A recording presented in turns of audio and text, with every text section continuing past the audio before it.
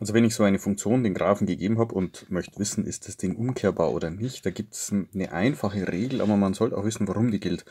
Also ich habe hier die x-Achse und die y-Achse und ich zeichne jetzt mal so eine Parallele zur x-Achse und die schneidet zweimal und dann ist es nicht umkehrbar. Ja, nicht.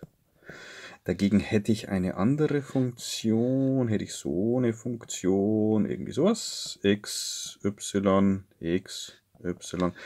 Dann kann ich hier Schnitte machen, wie ich will. Ich habe immer nur einen Punkt. Ja, und dann ist sie schon umkehrbar. Also das ist hier umkehrbar und das ist hier nicht umkehrbar.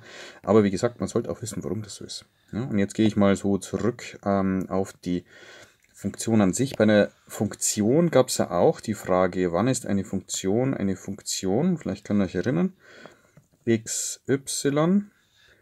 Ähm, und sowas, wenn ich jetzt, also bei einer normalen Funktion f von x kann das sein oder nicht, wenn ich jetzt hier eine Parallele zur y machen kann und die schneidet in zwei oder drei Punkten, dann ist es keine echte Funktion.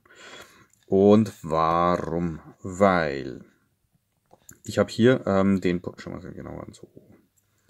Ich habe hier ähm, 1, 2, so, und die 1 wird abgebildet auf, naja, 1,1. Und hier 1, 2, da ist die 3. Die 3 wird abgebildet auf ja, 1, 2, 3, ja, 3,5. Also wir haben so eine Funktion, ja. 1 geht auf die 1,1, 3 geht auf die 3,5, wunderbar. Und die 2 weiß aber nicht, wo sie hin soll. Die 2 könnte hier hingehen, die könnte aber auch dahin gehen oder auch dahin. Das heißt also, die 2 geht, ja, was, was hat sie denn zur Auswahl? So 1,5 oder 2,5 oder oh, 3,5, genau. Und das ist nicht erlaubt. Also dieser Pfeil muss immer eindeutig sein.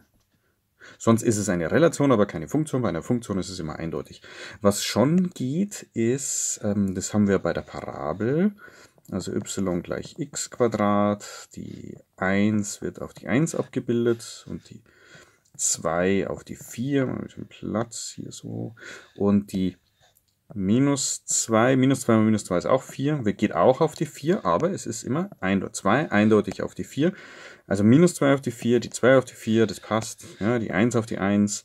Aber ähm, was ich jetzt hier gemalt habe, so entweder oder, dann ist es keine Funktion. Also bei der Funktion male ich den Balken parallel zur y-Achse. Bei der Frage gibt es eine Umkehrfunktion, male ich den Balken parallel zur x-Achse, weil ich ja im nächsten Schritt, wenn ich sie umkehren möchte, ähm, dann wird aus diesem blauen Ding, äh, der parallel zur x-Achse ist, wird ein Balken parallel zur y-Achse.